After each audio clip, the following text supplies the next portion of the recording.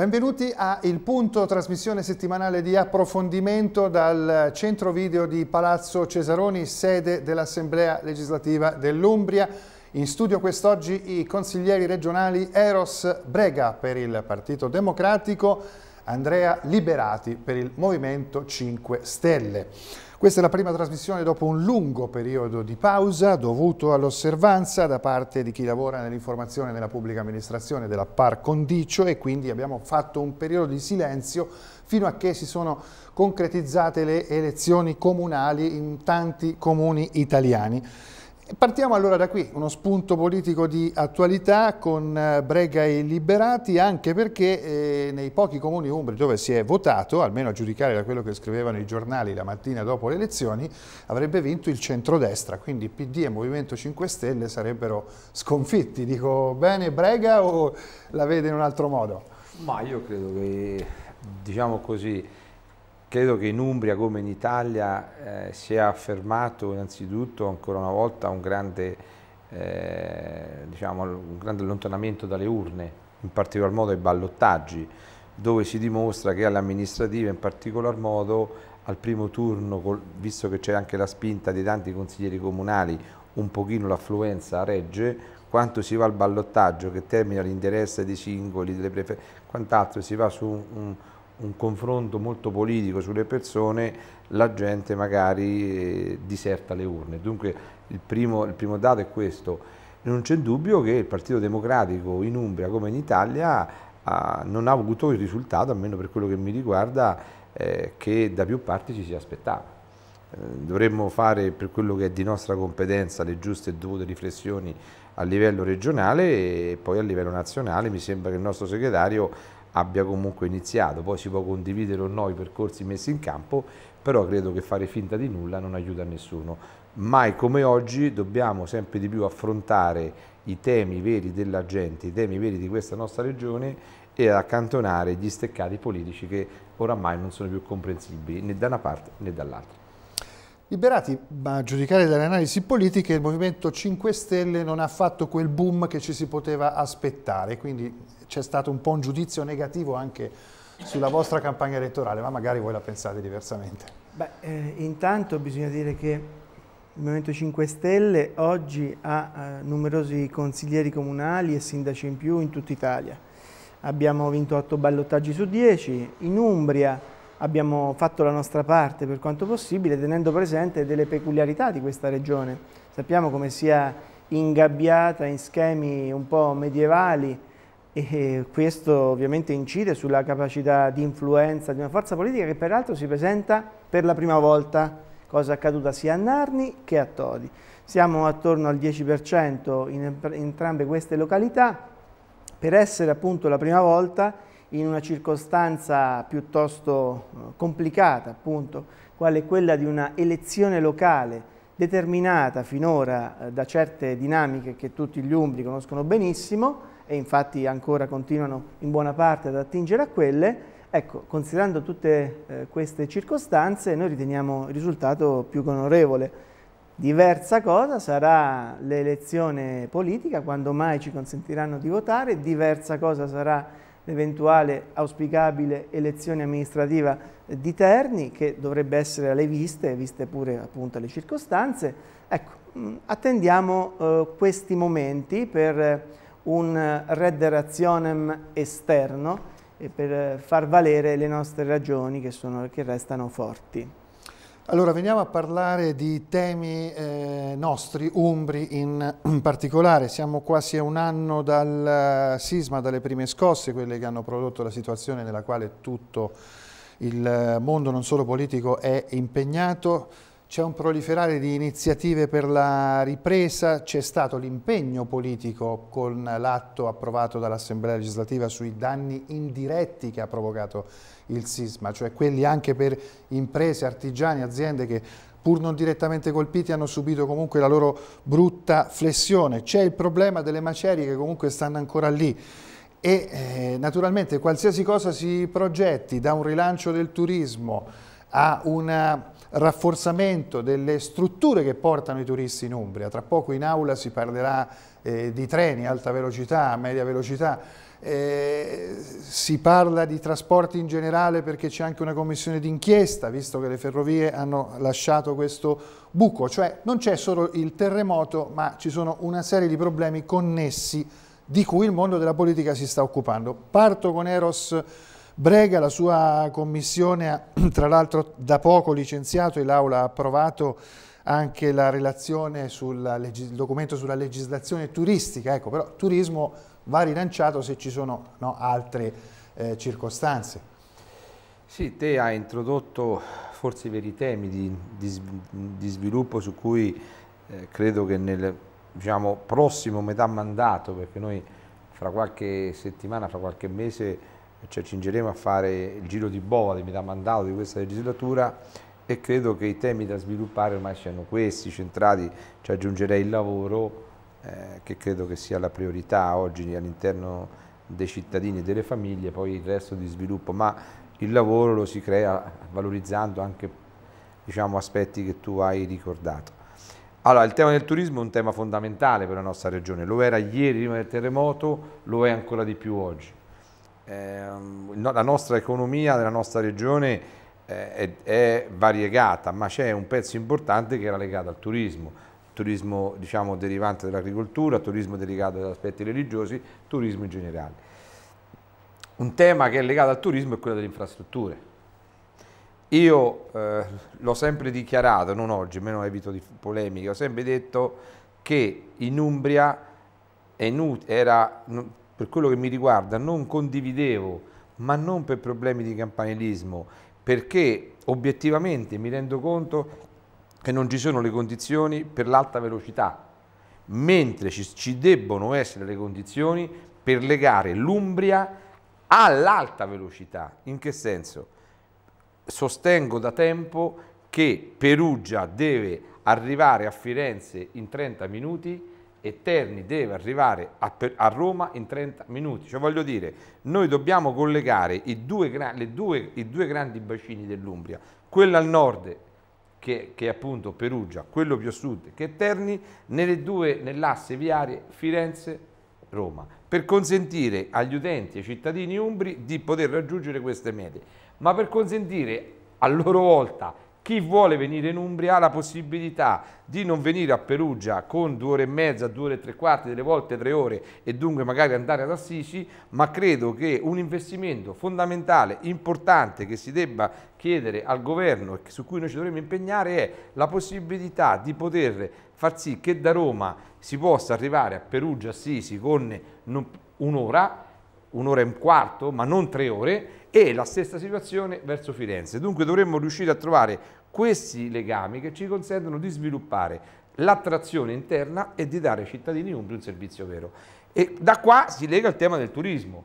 Poi, altra cosa, è le problematiche del, del danno indiretto. Noi oggi abbiamo in qualche maniera approvato la legge sul turismo che in grandi linee fa delle scelte importanti, ma non sono sufficienti a quella che è la richiesta oggi della nostra regione e degli operatori turistici. Abbiamo solo messo eh, diciamo, delle norme transitorie per il terremoto, se Andrea si ricorda, votate all'unanimità dalla Commissione, in particolar modo per Castelluccio e quant'altro, ma sono piccole norme, piccole cose. Oggi l'Umbria ha bisogno di qualcosa di più attraverso l'immagine del terremoto, attraverso l'immagine di come ripartiremo diciamo, da un'Umbria ancora una volta prima del terremoto, si gioca la partita vera di questo territorio. E dunque le scelte sul turismo sono legate appunto alle scelte sulle infrastrutture e rispetto al tema del danno indiretto, ricordo che avendolo già sperimentato in questa regione, il danno indiretto, ma noi il danno indiretto dobbiamo diciamo, circoscriverlo su determinate situazioni e comunque sappiamo benissimo che se non abbiamo l'aiuto del governo centrale, eh, l'Umbria, non l'Umbria, qualsiasi regione senza l'apporto, il supporto da parte del governo centrale, noi non possiamo fare nulla. Quando fu applicato qua, ci fu diciamo, da parte del governo Prodi, mi sembra, un grande sostegno, venne con il governo individuate le aree i periodi e comunque delle risorse ingenti e lì ripartì la ricostruzione non solo diciamo, infrastrutturale dell'Umbria ma anche diciamo, di immagine e quant'altro. Dunque io credo che noi siamo tutti impegnati su questo, credo che per quello che in qualche maniera la, di quello che la Regione poteva fare fino ad oggi ha fatto, poi delle mancanze ci sono state, sì forse, evito io di fare polemiche perché in questo momento credo che le polemiche non servano a nessuno, oggi credo che tutti dovremmo ancora di più unirci per il bene di questa Regione, perché come stanno sperimentando gli amici dei 5 Stelle, eh, fare l'opposizione eh, è una cosa, governare è un'altra. E eh, l'invito che io faccio a tutti è che quando uno eh, si siede sulla parte diciamo di qua per poter governare si rende conto quello che è e dunque il mio invito è che su temi particolari ci si possa tutti insieme ritrovare per il bene della nostra regione e per il bene dell'Umbria.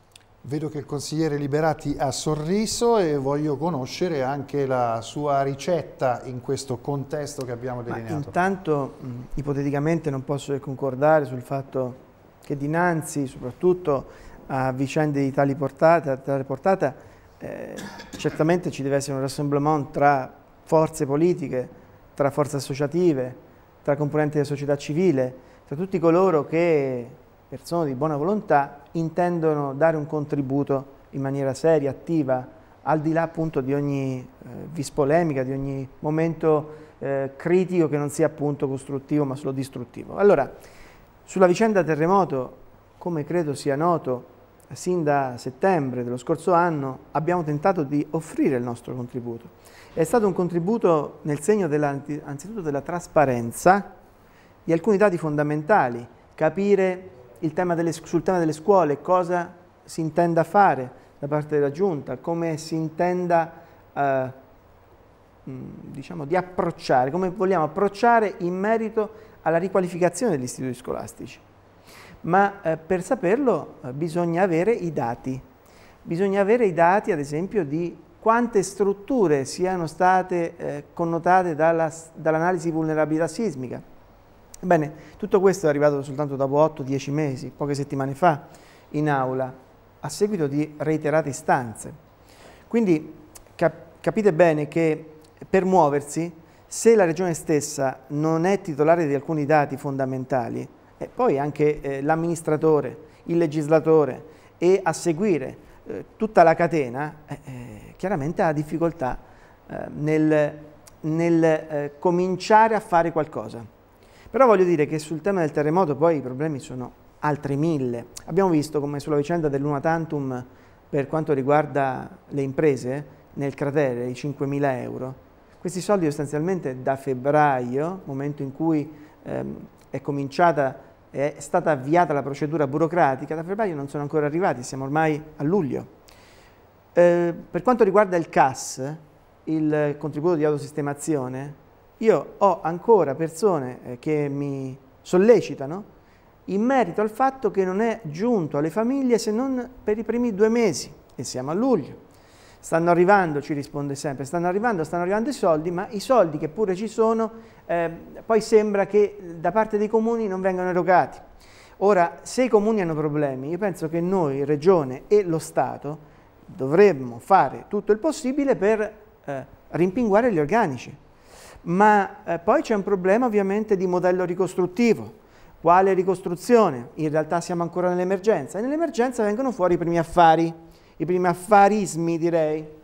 E su questo già in ottobre, il primo di ottobre, segnalammo come ci fossero dei rischi, eh, il fatto che, e questo l'abbiamo più volte denunciato e ora ce ne è accorta anche la grande stampa, il fatto che ci fossero di mezzo cooperative che non avevano mai costruito alcunché nell'edilizia, tantomeno nell'emergenza, che avevano fatto sempre tutt'altro. Allora, su questo, capire un attimo come vengono gestiti dalla Consip, dalla Consip in giù, gli appalti, subappalti, subappalti, e eh, fino all'ultimo effettivo costruttore, realizzatore delle casette. Eh, quindi c'è ancora tanto su cui, ehm, voglio dire, ehm, tentare di fare di meglio, ma se è un dialogo tra sordi. Se queste cose le diciamo settembre-ottobre e nessuno eh, ci ascoltava, o poche persone comunque, e se la giunta comunque non ci ha ascoltato, ora siamo a 100 casette su circa 900. La ricostruzione è una chimera al momento.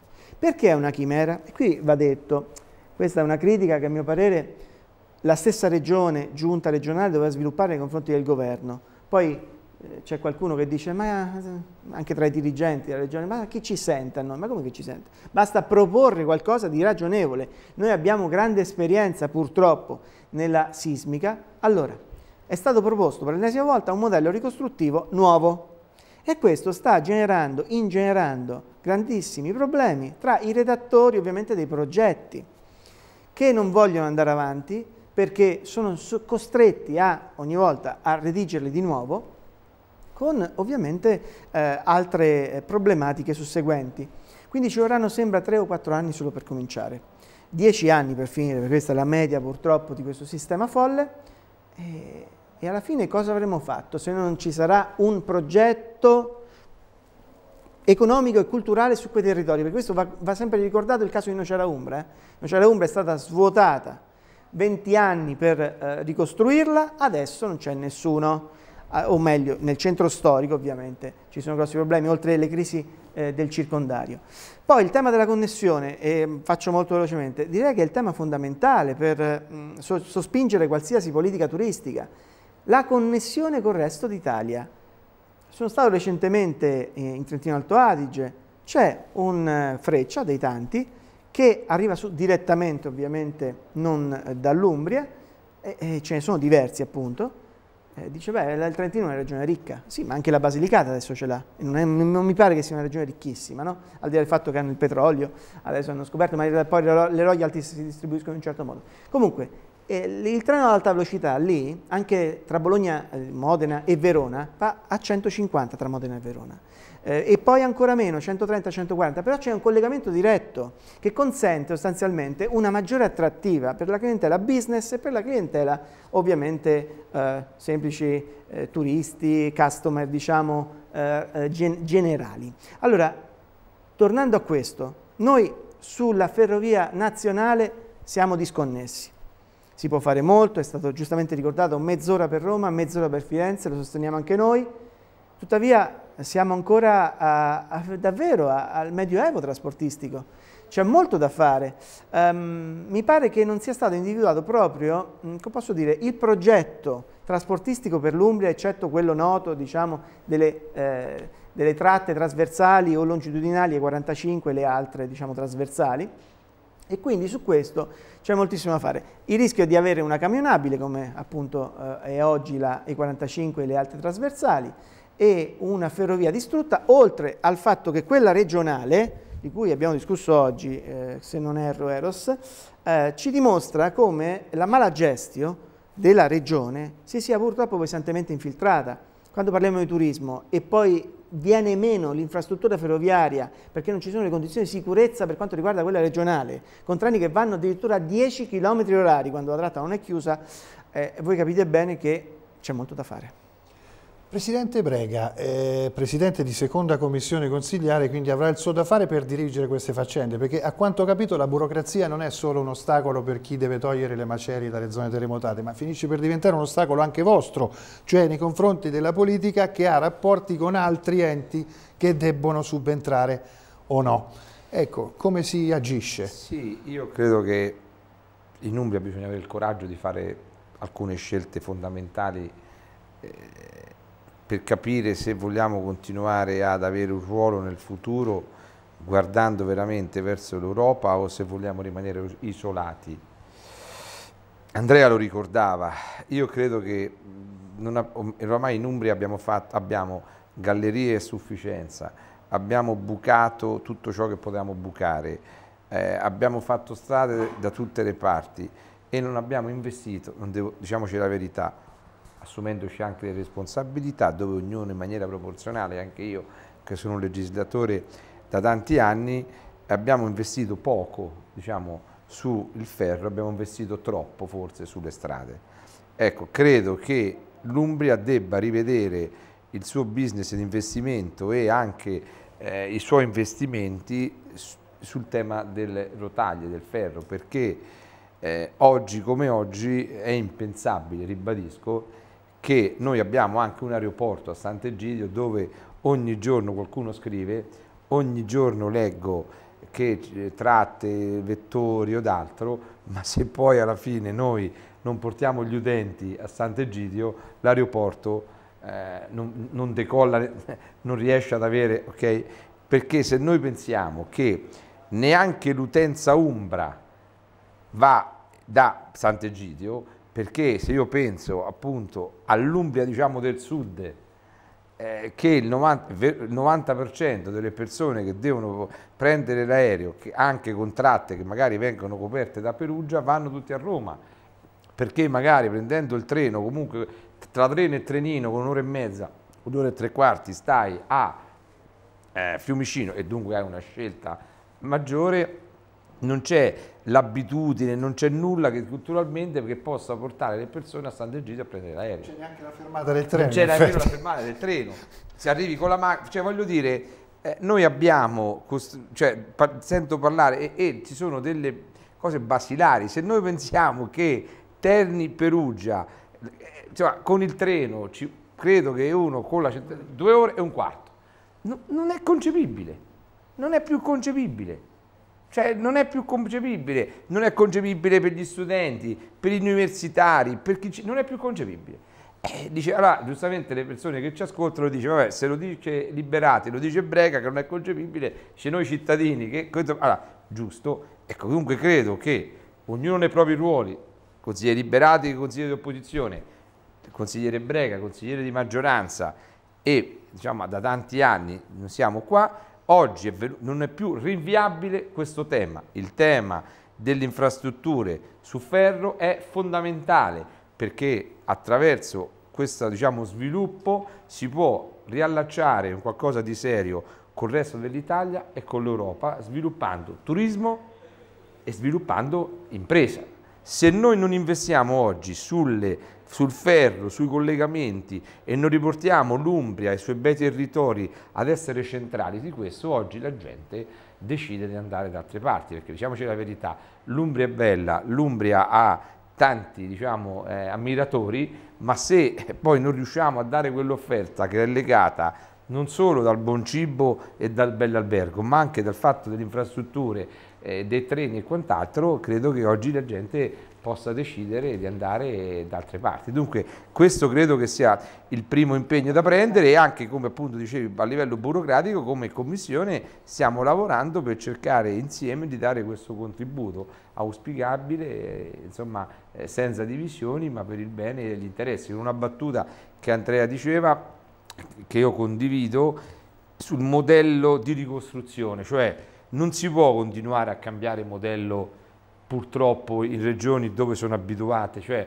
ad avere il terremoto. Credo che l'Umbria aveva sperimentato purtroppo un buon modello umbro in diverse ricostruzioni, credo che a, a, oggi abbiamo dovuto accettare diciamo, l'investimento su un altro modello e che ha ricambiato un po' una burocrazia che era abituata ad altro. Speriamo che i risultati diano ragione, però ecco, mi auguro che queste scelte portino risultati e non problematiche ai cittadini, perché poi effettivamente su 900 richieste ce ne sono 100 e poco più, insomma, poi su altro non entro, però sul modello scelto io lì forse capisco che però questa è una scelta governativa che non è in capo e che non è stata in capo alla regione e che non è stata in capo agli organi di governo di questa regione, in qualche maniera però è normale avere delle perplessità. Ci sono un paio di minuti scarsi a testa per l'ultima domanda, mi sembrava la puntata giusta per farla, spendere gli ultimi minuti da trasmissione, ci vorrebbe una intera. Liberati candidato sindaco di Terni? No? Non ancora, però volevo parlare di quella città, cioè della conca ternana, della situazione ambientale per cui Liberati si batte strenuamente, ma anche lei è ternano di nascita, no? quindi e di residenza. E di residenza. Allora, comincio da Liberati, vi prego di fare una sintesi, Terni, situazione della conca ternana dal punto di vista, prendiamo solo questo, ambientale, per ora. Ma io sinceramente non saprei cosa aggiungere rispetto a tutto quello che è stato sinora detto, scritto, certificato in merito al, all'esteso disastro ambientale in corso da anni in quella città, sottaciuto da tempo per i più diversi motivi che è inutile esporre, tanto li conoscono tutti, il segreto di Pulcinella. Eh, è chiaro che occorrono investimenti giganteschi anzitutto da parte eh, della, della ThyssenKrupp, parliamo di investimenti tra il mezzo miliardo e il miliardo, non c'è ancora l'esito invece e quindi siamo in grande ritardo per quanto riguarda la vicenda della partita, della gara per il recupero delle scorie dell'acciaieria, quindi non sappiamo chi abbia vinto, se abbia vinto, come. Um, lì c'è un, un disastro in corso, noto, arcinoto, di, un per, di, una percolazione di metalli pesanti nelle falde acquifere sottostanti e eh, purtroppo ancora nessun intervento. Sì, è stata approvata una mozione qui in Regione, ma io non ci credo alle favole, qui bisogna eh, mettere alle strette sul piano strettamente appunto legalitario eh, la multinazionale, ricordando tutto quello che ha avuto da questo territorio, ha avuto, ha avuto persone che hanno perso la vita per eh, i mali che si sono sviluppati, ha avuto eh, produzione e introiti giganteschi per anni, ha subito ammortizzato la spesa all'epoca, ha dato poco, ha dato poco, ha preso molto, anche in termini appunto di vite umane. E io questo non posso eh, dimenticarlo, perché ci sono tra costoro eh, amici, eh, persone che, cui ho voluto bene, e io credo che questa presa di coscienza dovrebbe essere anche da parte di alcune autorità. Non è possibile che, ripeto, piccole e medie imprese devono stare su un piano strettamente appunto di rispetto delle regole, di ogni regola e ad, ad alcune multinazionali venga considerato tutto. Quello è il centro focale della, dello sviluppo della città oppure di qualcos'altro che ancora non conosciamo.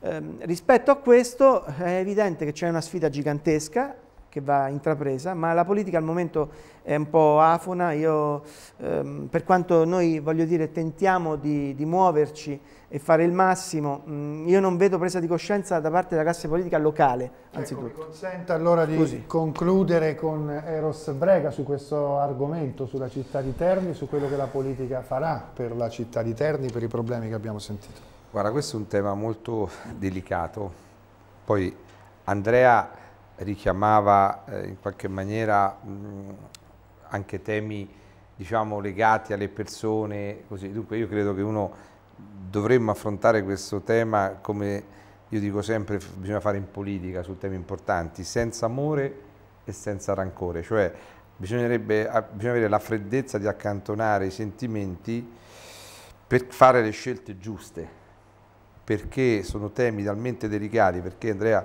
parte lo ricordava la film, attraverso la Thyssen per quel territorio ci passa tutto, cioè la sopravvivenza di Terni in termini economici, in termini ambientali, comunque lega quel territorio, gli lega il futuro. Cioè, parliamoci veramente, Terni, ma anche l'Umbria, senza la Thyssen Group non ci sarebbe più Terni o comunque non ci sarebbe più la città. Quella Terni. Quella Terni che bisognava in qualche maniera forse iniziare a pianificare 30 anni fa. Sì, certo. Oggi noi non siamo in grado di pianificare una cosa di 10 anni, di 30 anni, dobbiamo gestire al meglio ciò che abbiamo con la freddezza che ci si impone l'esigenza costante.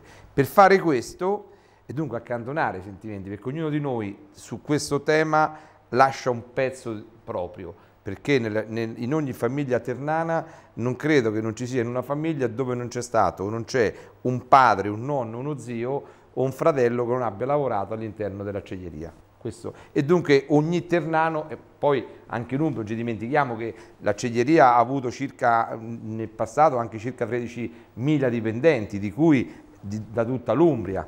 Okay? Ecco, lì passa lo snodo.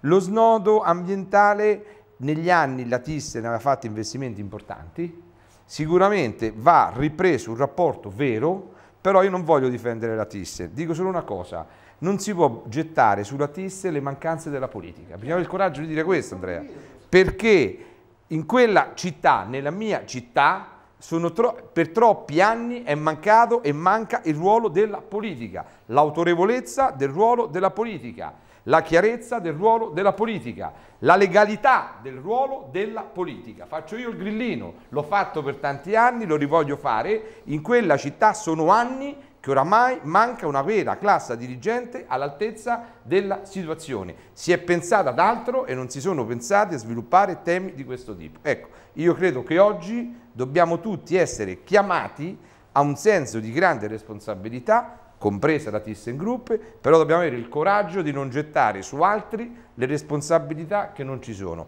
La politica deve avere il coraggio, compreso il sottoscritto, di fare quelle scelte che obblighino quella città e a quel punto si chiama a raccolta la Thyssen, le, tutte quelle imprese che sul territorio hanno avuto profitto e hanno profitto, costruire con loro un piano di sviluppo dove ognuno per il proprio ruolo investe con una chiarezza, una trasparenza e nel rispetto delle leggi.